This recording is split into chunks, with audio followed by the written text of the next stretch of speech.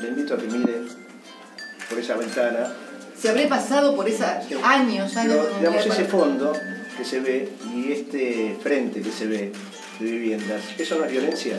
Es una violencia mucho más sofisticada, es una violencia mucho más sutil, mucho menos desentrañable mediáticamente. Es un lugar que te mueve la conciencia, porque te das cuenta cómo la pelean los que, aquellos de los que nadie se acuerda. Haber podido articular la igualdad, el derecho a la igualdad y la movilidad social ascendente con crecimiento, incorporación, inclusión social, ampliación de derechos y al mismo tiempo hacerlo en un marco de libertad absoluta. Cristina tuvo un segundo mandato que para mi gusto no fue bueno, pero tuvo un primer mandato donde se reconocieron derechos como nunca en la historia de la democracia argentina. El, gobierno más progresista a la hora de otorgar derechos fue el primer gobierno de Cristina.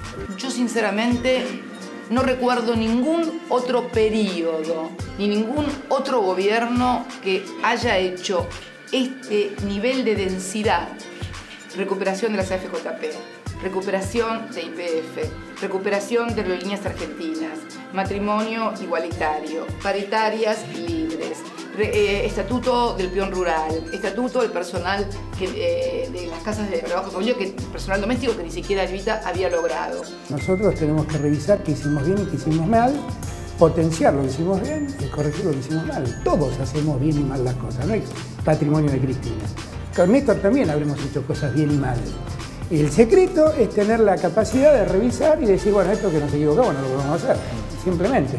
Ahora, el problema no es el pasado, el problema es el futuro, es el presente y es el futuro. ¿Cómo llegar a la mayor cantidad de población, clases medias, profesionales, universitarios, científicos, comerciantes, pequeños y medianos empresarios, e inclusive la gente de la villa, los trabajadores, los asalariados. Para ganar elecciones necesitas cierta cantidad de votos, eso es indefectible. Sí, claro. Y entonces eh, para concretar esa cantidad de votos, indefectiblemente tenemos que lograr la unidad. La unidad es una condición necesaria para ganar, no es una condición suficiente. Que toda esa cosa que metieron, ese miedo que le metieron a la gente, bueno, realmente era eso, una eficaz campaña mediática. Y la realidad es que el gobierno le da un mensaje a todos espantoso, porque les dice, miren, para resolver el problema, los que generaron el problema van a seguir haciendo lo mismo. Claro, pero ¿y cómo salgo de este problema? Cuando nosotros decíamos vamos por todo, era vamos por más derechos, por más cosas para todos y demás. El vienen por todo de ellos, no dijeron eso, pero finalmente vinieron por todo. Es la pérdida del puesto de trabajo, es sostener el trabajo, es sostener el sueldo. Un modelo que es agroexportador, que vincula en el sector primario eh, las posibilidades de crecimiento y cambio del país, me parece que está ahí. Y no lo digo de analista, simplemente veo a favor de quién se toma las medidas. Porque el riesgo que tenemos hoy es este presente, que este presente perdure. Este presente perdure, esto es una Argentina para 20 millones de personas. Hay 20 millones de personas que van a quedar fuera del sistema.